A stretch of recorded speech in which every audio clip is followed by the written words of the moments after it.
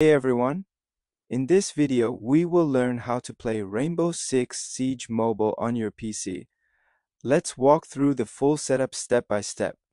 First, download an Android emulator like BlueStacks or LDPlayer. These let you run mobile apps on your computer with full keyboard and mouse support. Install the emulator, then launch it and sign in with your Google account.